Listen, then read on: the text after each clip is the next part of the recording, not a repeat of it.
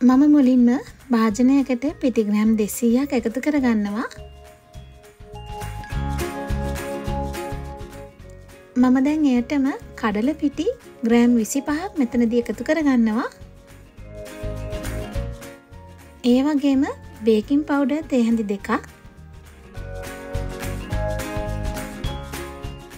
ලුණු තේහැඳි භාගයක් මෙයටම එකතු කරලා මේ සියලුම ද්‍රව්‍යයන් හොඳින් කලවම් කරගන්නවා.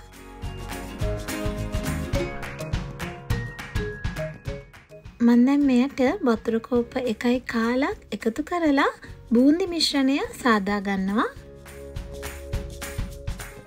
මේ බැටර එක සාදා ගැනීමේදී මේ විදිට වතුර ටිකෙන් ටික එකතු කරලා මේ බැටර එක සාදා ගන්න ඕන.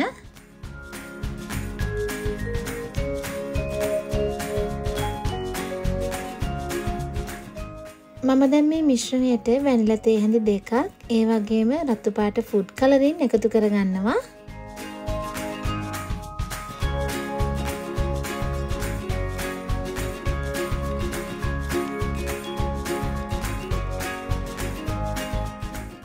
මම දැන් බූන්දි බටර එක සාදාගෙන අවසන් ඊළඟට මම ඔයාලට පෙන්වන්නම් සීනි සිරප් එක සාදාගන්නේ කොහොමද කියලා. සීනි සිරප් එක සාදාගන්න මම මෙන්න මේ වගේ භාජනයකට සීනි ග්‍රෑම් 400ක් එකතු කරගන්නවා. මම මේ සීනි ටිකටම වතුර කෝප්ප එකක් එකතු කරගන්නවා.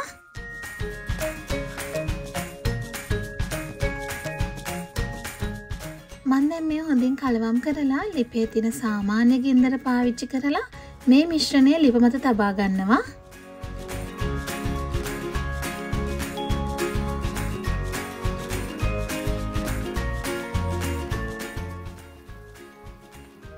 මම දැන් ශුගර් සිරප් එක සාදාගෙන අවසන් මෙන්න මේ වගේ තරමක් ඝන මිශ්‍රණයක් වුණාට පස්සෙව මම මේ සිරප් එක ලිපෙන් ඉවත් කරගන්නවා. මේ තියෙන්නේ විනාඩි 15කට පමණ පසුව බූන්දි මිශ්‍රණය. බූන්දි මිශ්‍රණය දමා ගන්න මම මෙන්න මේ වගේ සිප්ලොක් බෑග් එකක් පාවිච්චි කරනවා. ඔයාලට පයිපින් බෑග් එකක් වුණත් මේ සඳහා පාවිච්චි කරන්න පුළුවන්. මම දැන් බූන්දි මිශ්‍රණය කැඹුරු තෙලේ බැදගන්න යන්නේ. මම දැන් සිප්ලොක් එකේ මෙන්න මේ වගේ පොඩි සිදුරක් සාදා ගන්නවා. මම දැන් ටිකෙන් ටික මේ විදිහට තෙල් එකට මේ මිශ්‍රණය එකතු කරගන්නවා.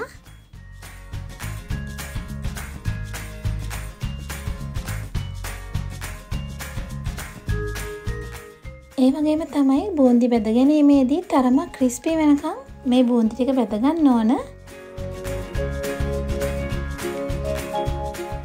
බූන්දි සෑදීමේදී මතක තියාගන්න අපි කලින් සාදාගත්ත සීනි සිරප් එක නිතරම රස්නෙන් තමයි මේ සඳහා පාවිච්චි කරන්න ඕන. සිරප් එක රස්නේ නොමැති නම් ඔයාලට පුළුවන් නැවතත් එය ලිප මත තියලා හොඳින් රත් කරගන්න. දැන් මේ බූන්දි ටික හොඳින් බැදලා තියෙන්නේ. මම දැන් මේ බූන්දි ටික කලින් සාදාගත්ත සිරප් එකට දාලා හොඳින් කලවම් කරගන්නවා.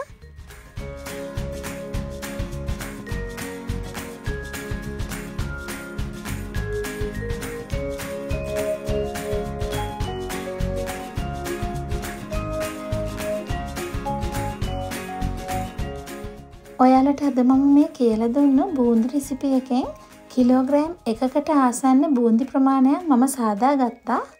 ඉතින් ඔයාලටත් පුළුවන් මේ බූන්දි රෙසිපි එක ගෙදරදීම හදලා බලලා මට කියලෙවන්න.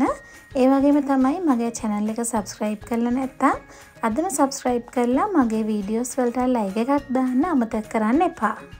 Thank you